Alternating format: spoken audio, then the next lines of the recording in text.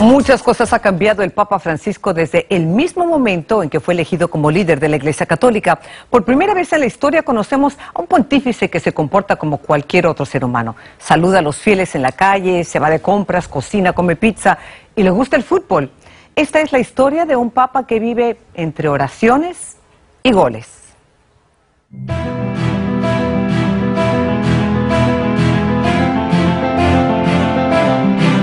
El Señor hoy los llama, a vos, a vos, a vos, a vos, a cada uno. Nos pide que seamos sus discípulos, que juguemos en su equipo.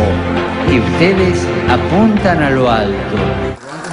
Para nadie es un secreto la gran afición del Papa Francisco por el fútbol. Para nosotros los argentinos es, es un orgullo que nuestro Papa este, sea futbolero. Y aunque el sumo pontífice parezca no poder controlar su parcialidad por la selección argentina, no todo es lo que aparenta ser. Ustedes son los que tienen el futuro. Quiero que se salga afuera. Cuiden los extremos. Jueguen para adelante. En la pasada Copa Mundial de Fútbol las pasiones se dispararon. Lo mío es cruzar los dedos nada más y pedir porque este Jesús es argentino. Está Y el todo Papa dicho. también. En el 86 tuvimos la mano de Dios y este mundial lo tenemos al Papa Francisco. Me parece que este año la copa la levantan los colores celestiales. Los hinchas del equipo blanquiceleste se sentían más confiados contando con las oraciones y las bendiciones del Papa desde el Vaticano. Pateen adelante. O Papa está con vocês. En el quinto mes de su pontificado, el Papa hizo su primer viaje al extranjero y su destino fue Río de Janeiro para asistir a la Jornada Mundial de la Juventud días antes de que se iniciara el Mundial de Fútbol en Brasil. Nunca estamos solos. Lo que parecía un discurso del Papa resultó ser un comercial. Para lograrlo, recopilaron y editaron las palabras del líder de la Iglesia Católica. En Argentina, había expectativa por ver la reacción del sumo pontífice ante el comercial.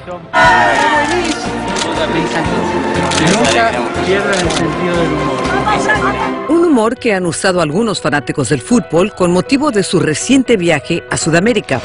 Estos han sido algunos de los ingeniosos memes futboleros, donde aparece junto a Messi y a Maradona vestidos de cardenal, aquí bendiciendo la arquería. En esta, enojado ante el triunfo de Suiza, como jugador de la selección argentina. Como el mundo y los argentinos lo vieron al ser elegido papa. O esta última donde le ruega a Dios que su equipo de San Lorenzo salga campeón. Y que gane San Lorenzo. Su amor por el fútbol data desde muy pequeño.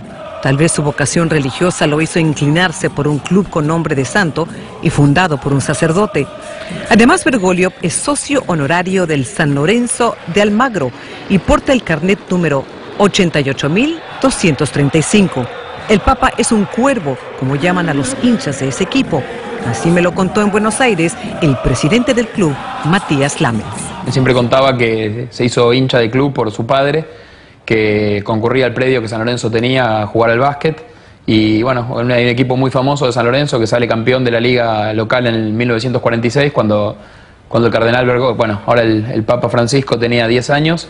Y en ese momento es cuando él tiene sus primeros recuerdos de la relación con San Lorenzo. Usted le entregaron una camiseta en un momento. ¿Cómo fue? Fue en el año 2011 cuando San Lorenzo inauguró una capilla que tenemos en, en- en nuestro predio, en la ciudad deportiva. Y él vino a esa misa de inauguración, se le regaló una camiseta, se regaló un mandarín.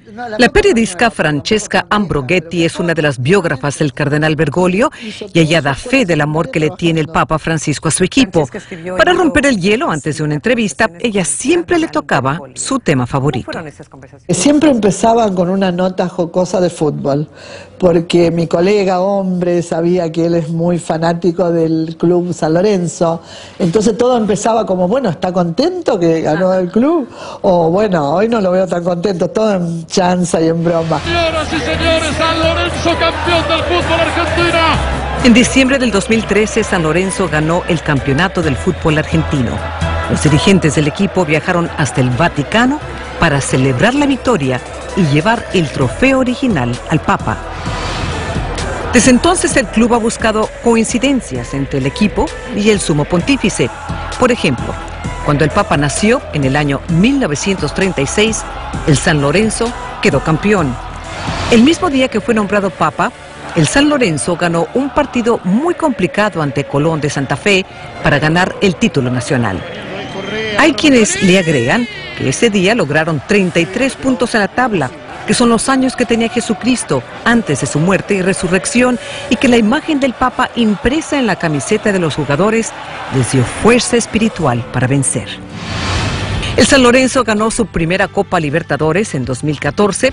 Los hinchas atribuyen el histórico logro al Papa Francisco y por eso regresaron al Vaticano a regalarle esta vez una copia del trofeo.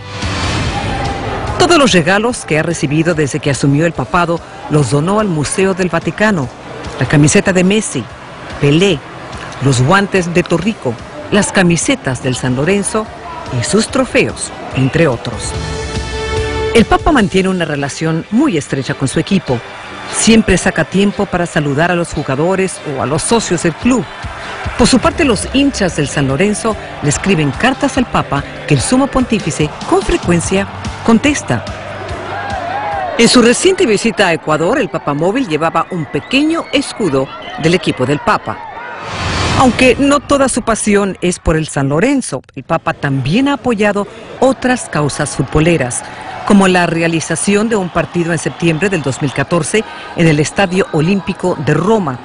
Ahí se reunieron jugadores de distintos credos, cristianos, católicos, budistas, musulmanes y judíos, para jugar por la paz mundial.